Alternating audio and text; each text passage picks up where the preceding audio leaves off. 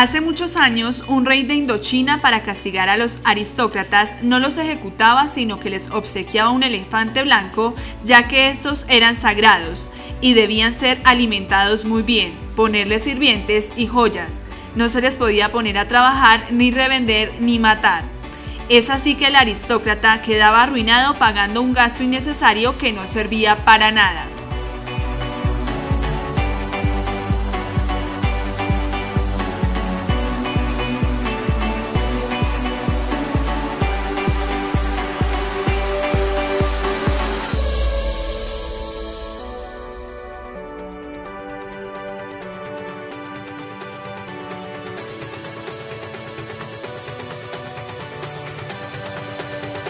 Las personas a menudo usan el término elefante blanco como un modismo para referirse a un bien del que un propietario no se puede deshacer, pero por el que debe pagar una cantidad significativa de dinero o proporcionar ridículas cantidades de mano de obra para mantenerlo.